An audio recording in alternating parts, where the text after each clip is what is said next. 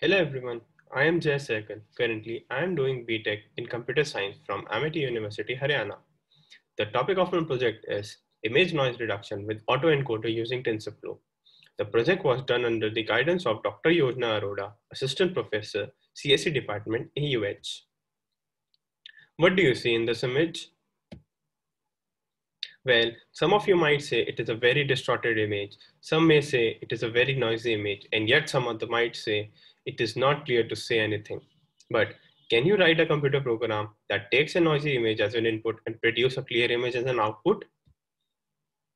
Well, just prior to the recent development of DNN, deep neural network, this problem was inconceivable, even by the most advanced researcher in computer vision. But with the advancement of deep learning, this problem can be solved very easily if we have the required algorithm. Here, it is structure of a deep learning model. We must uh, first understand how important this problem is to real world. Let's see few applications where the situation to this problem can be very useful. Digital microscopic images. Exploring microscopic world and finding useful things and if we can denoise the image from the microscope and can discover something beneficial, we can do wonders.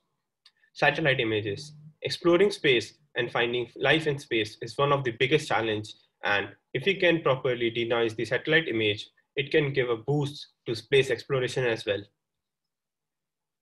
About the dataset. I have used the fashion MNIST dataset of Keras, which is a free dataset available at Keras website.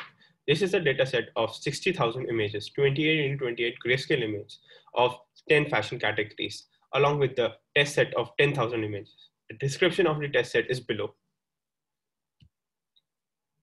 Model used. I have used an autoencoder. An autoencoder is a type of artificial neural network used to learn efficient data coding in an unsupervised manner. The aim of an autoencoder is to learn an representation of a set of data typically for dimensional reduction by training the network to ignore the signal noise. Autoencoder can be broken into two parts, encoder and decoder. Encoder. This part of the network compress or downsample the input into a fewer number of bits. The space representation by these fewer numbers of bits is often called latent space on bottleneck. The bottleneck is also called the maximum point of compression. Since at this point, the input is compressed the maximum, the, these compressed bits that represent the original inputs are together called encoding of the input. Decoder. This part of the network tries to reconstruct the inputs using only the encoding of the input. When the decoder can reconstruct the input exactly as it was fed to the encoder, you can say that the encoder can produce the best encoding for the input with which the decoder can reconstruct well. Here is an example. The noisy image is given to input as the encoder. Encoder fetches the features and give the features to the decoder and decoder reconstruct the image. And we can say that the original image and the produced image are comparable. The working model. Here's a working model of the project I made. There is an input images, the data set I have used, I've added the noise, the corrupt part. The noisy image is then given the input to the encoder.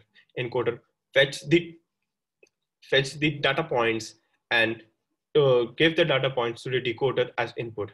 That decoder take the input point from the encoder and upscale the image. The rec reconstructed output is then compared to the original input and calculate the loss part.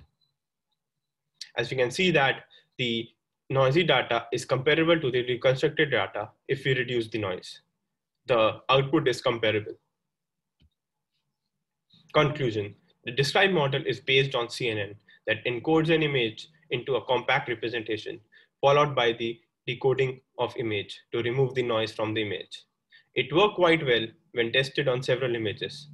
The image generated after the process was quite accurate, but the source of image also played an important role in the feature extraction, and hence the removal of noise.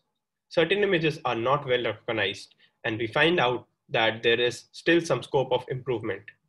There are certain points which can be incorporated in this model to make it even work better with large data set as well. Thank you.